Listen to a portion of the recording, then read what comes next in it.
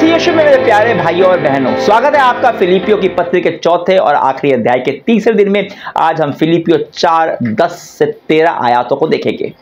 इस अध्याय में हम बात कर रहे हैं आनंद की और उन बातों की जो अक्सर हमारी शांति भंग करके हमारे आनंद को छीन लेती है। और उनमें से एक चीज़ है संतोष का अभाव। तो आज के संस्करण में हम जानेंगे कि पौरुष संतुष्टि का राज क्या था। और साथ में कुछ और भी देखेंगे।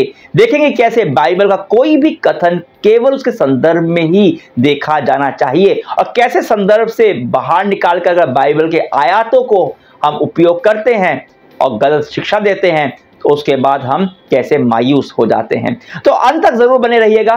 तो आज आगे बढ़ने से पहले वीडियो को लाइक करके कुछ मित्रों के साथ शेयर भी कर लीजिए। और जो नए हैं या अभी तक आपने अगर आपने सब्सक्राइब नहीं किया है तो सब्सक्राइब कर कर बेल आइकन ज़रूर दबा दीजिए। ताकि नए अध्ययन के सारे नोटिफिकेशन सोमवार, शुक्रवार आपको मिलते रहें। तो शुरू करता हूँ, पढ़कर मैं फिलिपियो चार, दस से तेरह। मैं प्रभु में बहुत आनंदित हूँ कि अब इतने दिनों के बाद तुम्हारी चिंता मेरे विषय में फिर जागृत हुई है। निश्चय तुम्हें आरंभ में ही इसका विचार था, पर तुम्हें अवसर ना मिला। यह नहीं कि मैं अपनी घटी के कारण यह कहता हूँ, क्योंकि मैंने यह सीखा है कि जिस दशा में हूँ, उसी में संतोष करूँ। मैं दीन होना भी जानता हूँ और बढ़ना भी जानता हूँ। हर एक बात और सब दशाओं में मैंने तृप्त होना, भूखा रहना और बढ़ना घटना सीखा है। जो मुझे सामर्थ्य देता है, उसमें मैं सब कुछ कर सकता हूँ। आपने तेरा आयात देखा? कई बार आपने इसको दोहराया भी होगा। जो मुझे सामर्थ्य देता है, उसमें मैं सब कुछ कर सकता हूँ। सच में? कुछ भी कर सकता हूँ? क्या इसके बारे में हम अंत में समझेंगे। तो अंत ज़रूर बने रहिएगा। सबसे पहले हम बात करते हैं संतोष के एटीट्यूड की। जी हाँ संतोष भी एक एटीट्यूड एक मनोभाव है।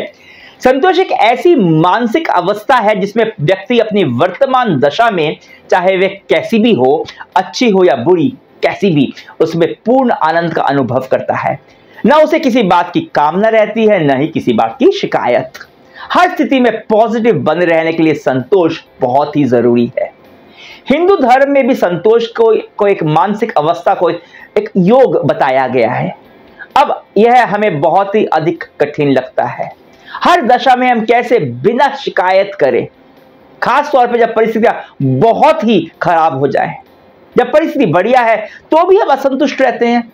क्योंकि बढ़िया दशा में भी कुछ तो ऐसा होता है जिसे कमी हमें खलती है। तो जब बढ़िया परिस्थिति में ही हम संतुष्ट नहीं रह पाते तो खराब परिस्थिति में हम संतुष्ट कैसे रहें आनंदित कैसे रहें? हम देखते हैं कि पॉलुस अभी कैद में है। पता नहीं हो सकता उसका मृत्युदंड हो जाए उसका। पर इसके बावजूद वह बिल्कुल शांत है स्थिर है आनंदित है। किसी भी बात की शिकायत वह नहीं कर रहा। और यह कैसे संभव है? पॉलुस के पास संतुष्टि का क्या, क्या कोई रहस्य कोई राज था?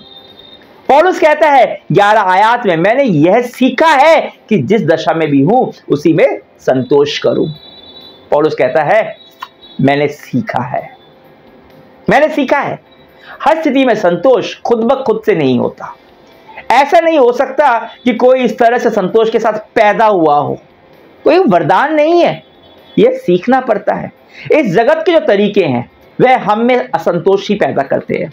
दूसरों के साथ तुलना करना, वह मुझसे बेहतर स्थिति में कैसे है, क्यों है? भौतिकतावाद, अवास्तविक अपेक्षाएँ ईर्षा डर, नकारात्मक सोच, अपूर्ण इच्छाएँ, स्वार्थी महत्वाकांक्षाएँ, खुद के लिए ज़रूरत से ज़्यादा ऊँचे मापदंड, ये तमाम चीज़ें इस जगत की जो हमारे व्यक्तित्व को ऐसा बना देती हैं कि हम संतुष्ट रह ही नहीं सकते।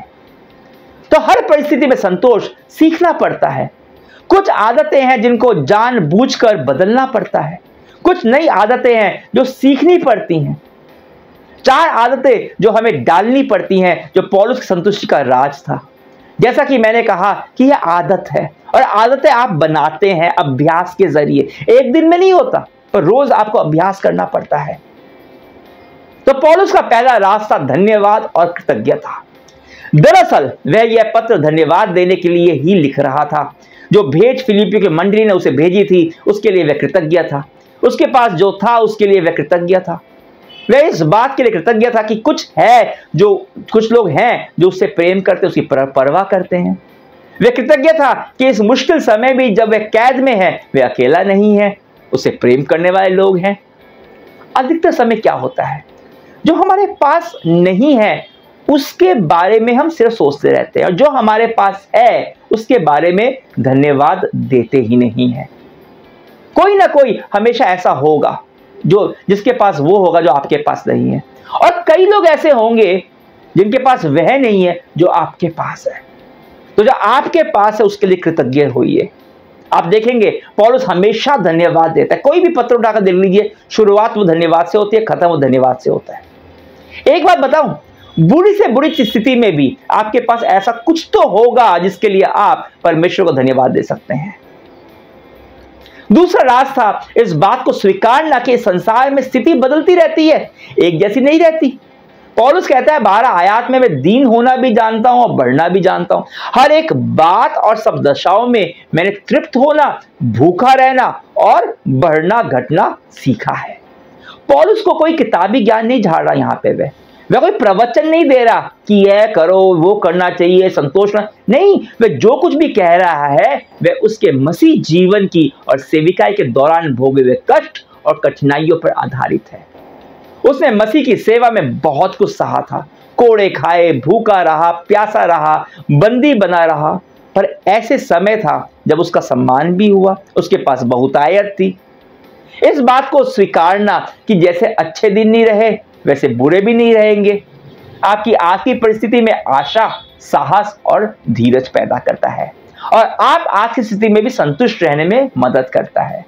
हमने देखा था, पॉल उस कैद में था, पर वह जानता है कि या तो वह कैद से छूट जाएगा, या फिर उसे मौत के घाट उतार दिया जाएगा। और अगर ऐसा भी होता है तो अच्छा है, वह मसीह यीशु के पास चला जाएगा। इस जगत के लोग डरे सहमे रहते हैं, क्योंकि उनके पास आशा नहीं होती ना। हम विश्वासियों के पास तो हर समय सबसे महान आशा है, यीशु मसीह में महिमा की आशा।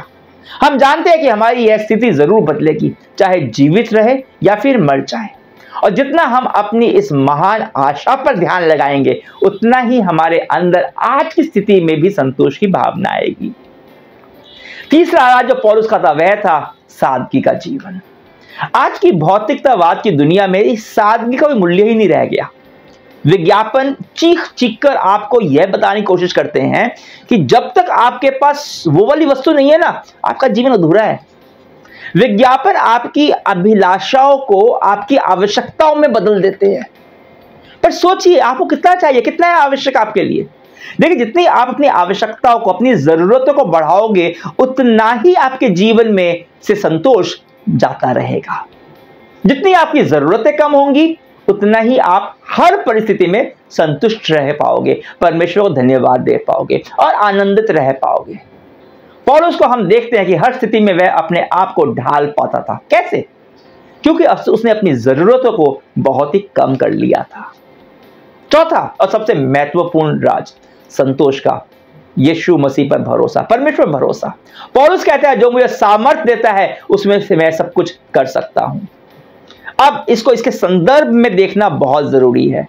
नहीं तो गलत मतलब ही निकलेगा, निकले मतलब ऐसा लगेगा जैसे मैं यीशु मसीह में हूँ अगर मैं तो मैं कुछ भी कर सकता हूँ, सर्वशक्तिमान बन गया जी मैं। एक क्या हुआ? एक विश्वासी की बहन को लगातार एक पहलवान टाइप का थोड़ा बंदा था, गुंडा टाइप का, वो छेड़छाड़ कर रहा, रोज छेड़छाड़ कर रहा था। एक दिन जी हमारे इस विश्वासी भाई को कैश आ गया, वो उठ खड़ा हुआ। उसने कहा, जो मुझे सामर्थ देता है, उसमें मैं सब कुछ कर सकता हूँ। और जाकर उसने उस गुंडे को लड़कार दिया लड़ाई के लिए। अब यह भाई थे पतले दुबले, और वे गुंडा कसरत करने वाला पहलवान। उसने हमारे इस विश्वासी भाई को बुरी तरह से धो दिया। अब ये भाई कंफ्यूज पूछ रहे थे, यीशु मसीह की सामर्थ उनके अंदर काम क्यों नहीं की? क्या परमेश्वर का वचन गलत है? नहीं उसको समझने का और उपयोग करने का तरीका गलत है हमारा। बिना संदर्भ के आप किसी भी कथन का कुछ भी मतलब निकाल सकते हो।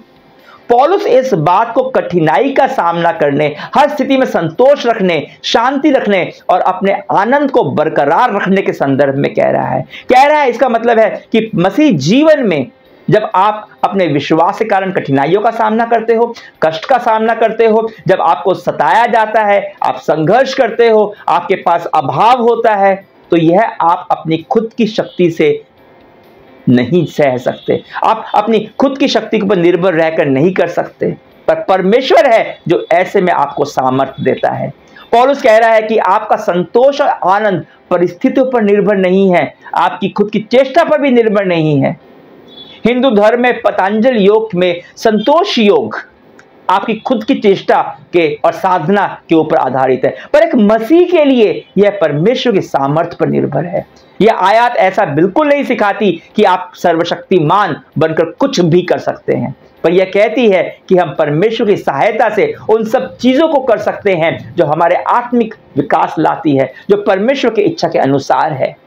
तो आप परमेश्वर के सामर्थ्य को अपने जीवन के हर एक क्षेत्र में पहचाने और उस पर निर्भर रहें। चाहे वह कठिनाइयों का सामना करना हो, नई चुनौतियों को स्वीकार करना हो, या दैनिक जीवन के कार्यों को पूरा करना हो, या फिर यीशु के एटीट्यूड को अपनाना एटीट्यूड बनाना हो, या पौरुष की तरह हर परिस्थिति में संतुष्ट रहकर आनंदित रहना हो। जो सुनने में तो बहुत अच्छा लगता है, पर करने में लगता है, भाई, मुझसे नहीं होगा। हाँ आपसे नहीं होगा। पर यीशु मसीह जो आपको सामर्थ्य देता है उसमें होगा, पक्का होगा। आज के वचन से आपने क्या सीखा? कमेंट्स में लिखकर मेरे को बताइए, कम से कम आमीन ही लिख दीजिए कमेंट्स के अंदर लाइक और शेयर कीजिए। परमेश्वर के वचन की सही समझ लोगों तक पहुँचाने में मेरी मदद कीजिए। मैं आपको मौका देना चाहता हूँ इस सेवा में मेरे सहभागी बनने का। कोई भी उपहार या भेंट धन्यवाद के साथ परमेश्वर के राज्य के लिए स्वीकार्य है। यह रहा मेरा नंबर जिस पर यूपीआई के ज़रिए आप भेंट भेज सकते हैं। इसी नंबर पर आप व्हाट्सएप पर मुझे व्यक्तिगत रूप से संपर्क कर सकते हैं, सवाल पूछ सकते हैं, प्रार्थना निवेदन भेज सकते हैं। तो कल तक के लिए आज्ञा दीजिए, यीशु मसीह का अनुग्रह, पिता परमेश्वर का प्रेम और पवित्र आत्मा की सहभागिता आपके साथ बनी रहे हमेशा हमेशा के लिए। आमीन।